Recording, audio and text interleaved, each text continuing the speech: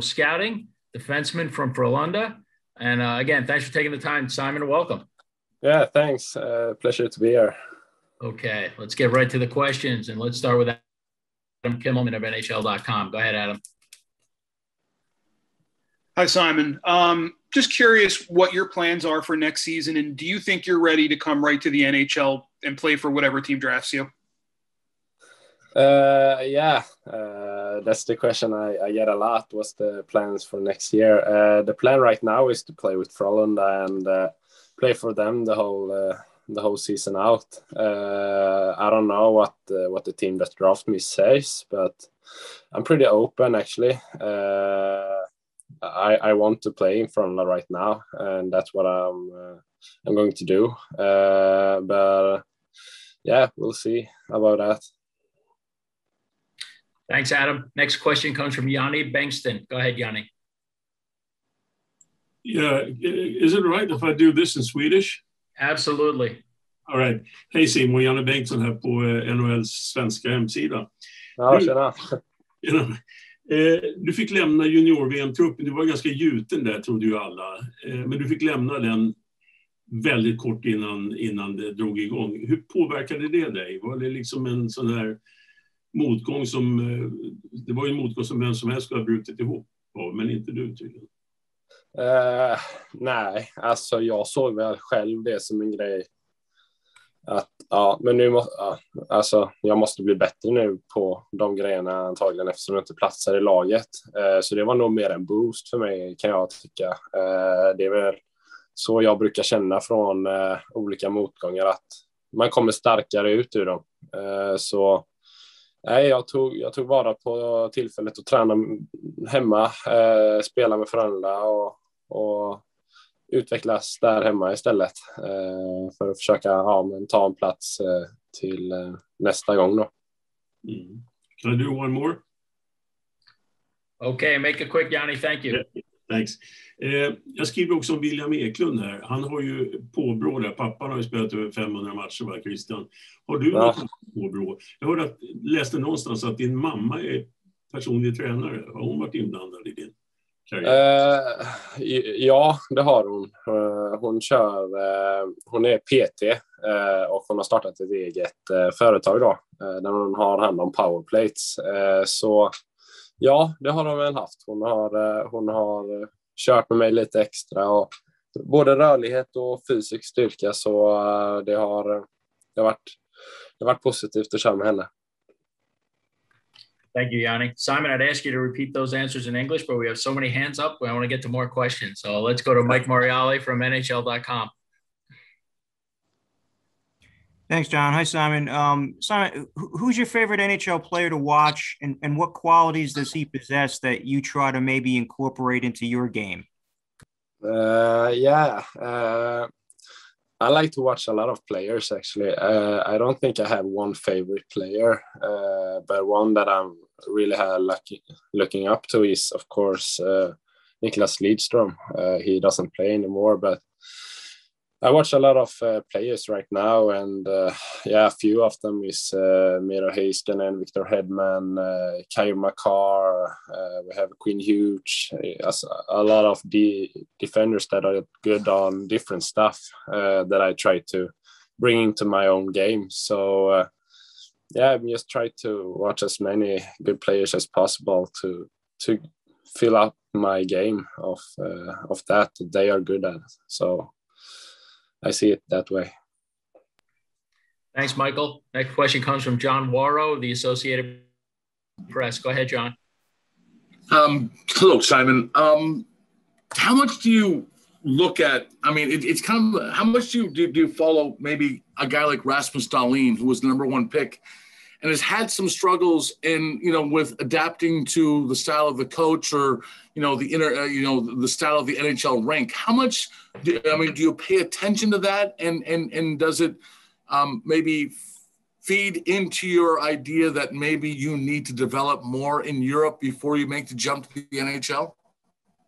Uh, I think that Rasmus Dahlin has uh, had a terrific, uh, terrific start, uh, and of course he's he's so good at being offensive uh, and uh, and so and I, I try to be as good uh, as possible at both ends. So I try to be like really good defense and and be a really good offense too. So I, I try to build up, uh, yeah, so much I can before I go over. And uh, of course, when I feel ready and I've done that, uh, I will go over to to play over there if uh, if the team give me the chance. So yeah.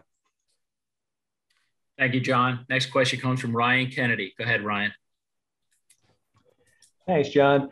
Hey, Simon. Um, Sweden, the, the World Under 18, sort of uh, an up and down tournament. You ended up winning bronze. How did you feel about the, the team's play and, and your own play at that tournament? Uh, I feel like uh, the team and, and me uh, didn't play as good as we can in the group.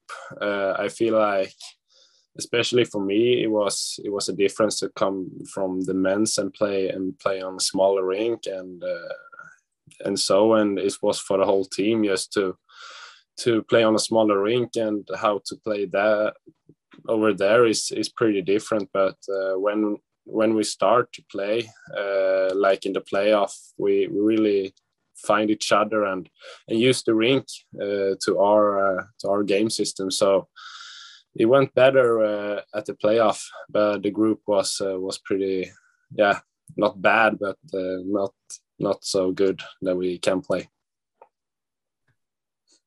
Thanks, Ryan. Next question comes from Brian Hedger. Go ahead, Brian.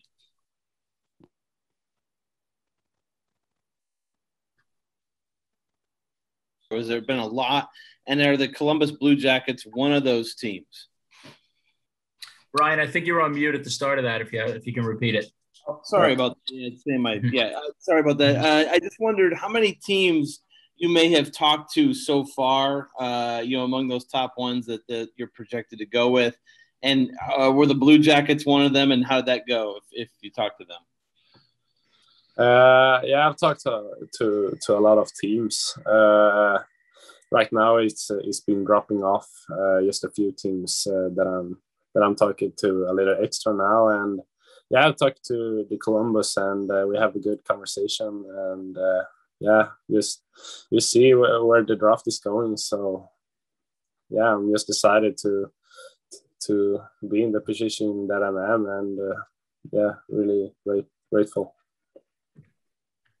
Thanks, Brian. Next question comes from Mark Scheig. Go ahead, Mark.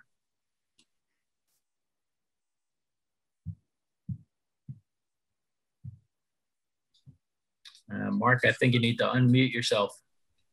Oh, can you not hear me? Now can you not hear you. me? Okay, now we.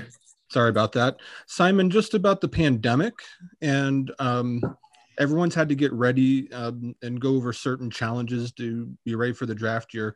What were some of the biggest challenges you've had to overcome to be ready for this? Uh, uh, yeah, uh, we have uh, I, I don't think I have uh, been disturbed at, at, the pandemic so much. Uh, I I have been pretty lucky to to train with uh, the Frölunda Pro team, and I have uh, been uh, yeah training the whole season uh, around. so I've just been lucky to to have yeah to get to train and to develop my myself as a player the whole year and yeah, the pandemic hasn't disturbed me. Of course, it's been uh, been uh, it's been terrible at uh, when we we di- didn't go to to different uh, sort of tournaments uh, like the Hlinka and uh, and so. But yeah, I'm happy that I been on ice and have trained with uh, with Frölunda. So yeah. Thanks, Mark. Next question comes from Ansar Khan. Go ahead, Ansar. Yeah, hi, Simon. What specifically about Nick Lidstrom did you like about his game, and was there any uh, aspects of his game that you try to incorporate into your own?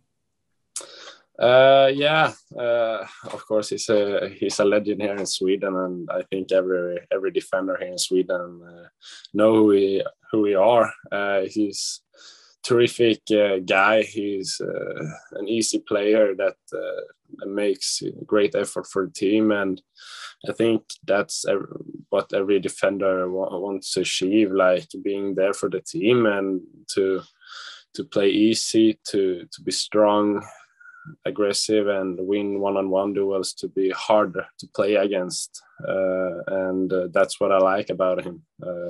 And when he played, he was a leader, and that's uh, that's the goal. Thanks, Ansar. Next question comes from Max Bultman. Go ahead, Max. Hi, Simon. Uh, first of all, I just wanted to follow up and see which teams you've. Uh, you said you've been talking to a few extra. Which which teams have you been talking to the most? And and second, what kind of advice or, or how much have you talked to Lucas Raymond through the process about um, th- this whole process? Uh, yeah. Uh, I don't know how much I can go into to be talking about. I, I've been talking to a few teams uh, like uh, uh, Seattle, Anaheim, uh, LA, Vancouver, uh, yeah, Detroit, New Jersey, like in that area. Um, and yeah, I've talk, I talked to Lucas a little bit. he's it's been a pandemic here, here in Sweden, but now we start to release. I train with him uh, actually this week, uh, and uh, yeah, we talk a little bit just to you just want to know and how, how things are going. Uh, so uh, yeah, a little bit. We have talked to each other. Yeah. Thanks, Max. Uh, Simon, thanks for taking the time. Congratulations on how far you've gotten, and uh, I know it's going to be an exciting couple of weeks. Uh, thanks again for taking the time. Thanks. Thanks, Severe.